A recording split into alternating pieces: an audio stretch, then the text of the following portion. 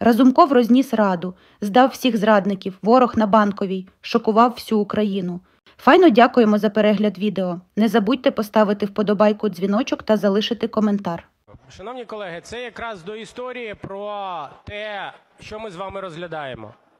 Я зараз не буду вдаватися в питання, що важливіше, наприклад, закон про зміну літнього на, зимовий час чи закон про корупцію.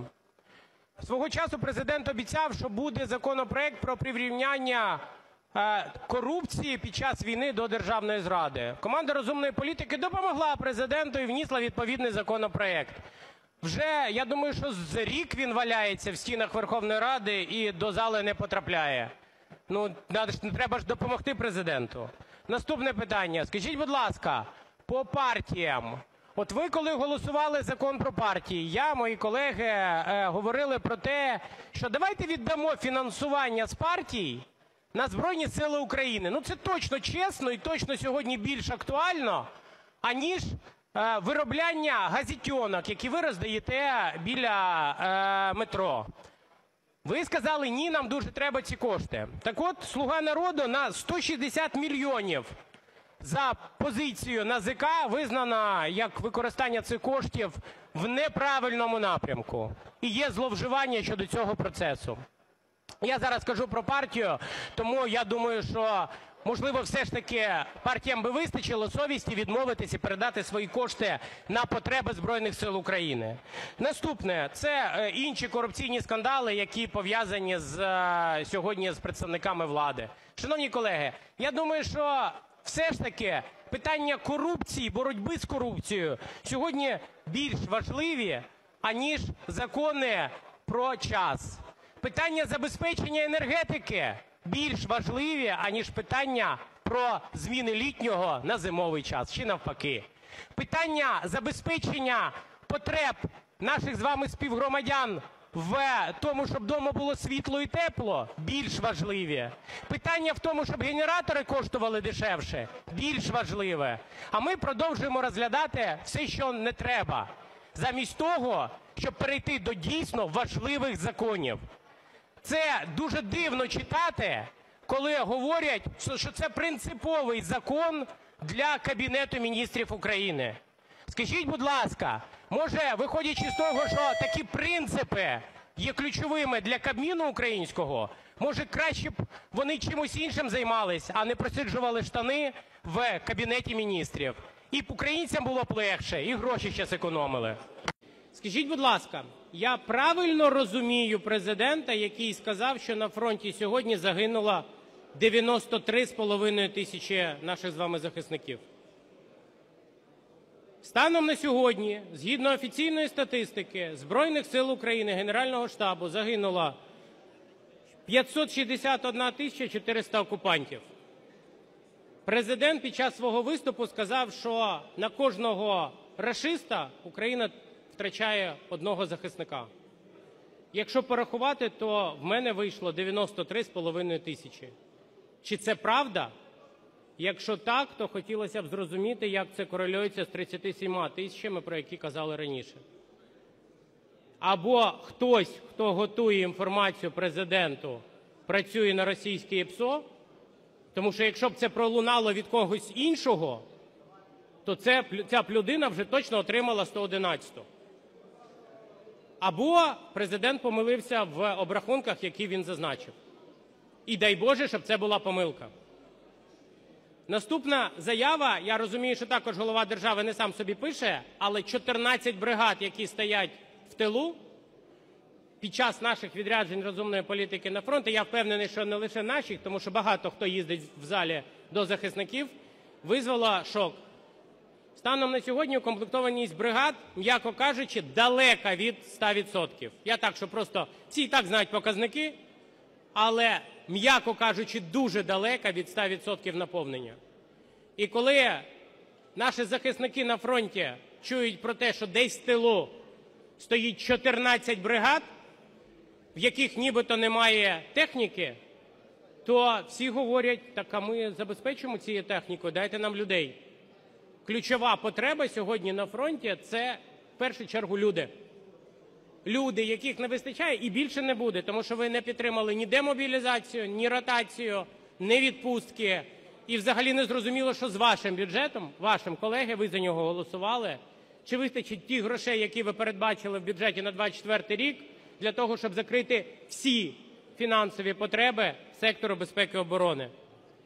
Ви наголосували те, що черги стоять в ТЦК. І коли всі інші вам говорили, два місяці це мало, дайте більше термін. Ні, вам вистачало. Хто сьогодні з вас їздив і подивився, що відбувається під ТЦК або ЦНАПами? От просто після ради з'їздіть і подивіться. І завтра ви цих людей будете штрафувати. Завтра. А потім, коли декілька разів він штраф не заплатить, ви в нього заберете квартиру. Ви заберете квартиру. Ви за це проголосували. Ви. Шановні колеги, ми дійсно вчора проголосували важливі закони, які допомагають відновити енергетику, ту енергетику, яку фактично знищили разом з рашистами наші урядовці, які списали мільярди гривень з державного бюджету ваших грошей. Не буває державних грошей, бувають гроші, які туди сплатили люди. І вони їх просто розсували собі по кишеням. Але по факту ми станом на вчора людям нічим не допомогли. Ми не прийняли наші законопроекти команди розумної політики 11403, 11404. Це про безмитне ввезення е, генераторів, комплектуючих до них і всіх е, інших систем, які б допомогли сьогодні людям вижити в тих умовах, які разом з ворогом створила діюча влада. Тому що це правда, що люди живуть по 4 години зі світлом і по 20 без, в спекоти. Не працює бізнес, нічого сьогодні нормально не може існувати. Ви фактично ще додаєте сьогодні проблему, коли будете голосувати за підняття акцизу на паливо, але про це поговоримо окремо.